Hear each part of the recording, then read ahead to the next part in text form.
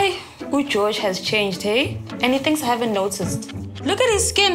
It's brighter, more plump, smooth, young. Hi, it's not make sure. Is it my fault that I'm in my glowing era? Yeah, you're glow. Uyangibona mara. Hayi. See, you don't take things seriously. Manje ukwatile. I'm not angry, I'm just saying you don't take things seriously. I do take something seriously, Like what?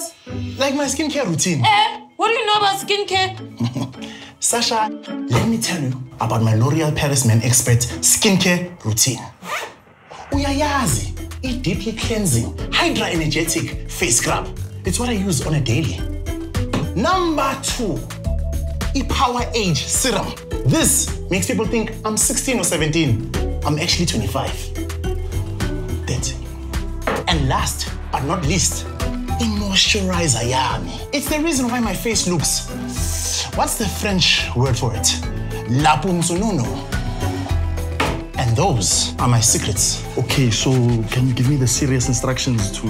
It's not instruction, Buddha. It's a L'Oreal Paris Men Expert skincare routine.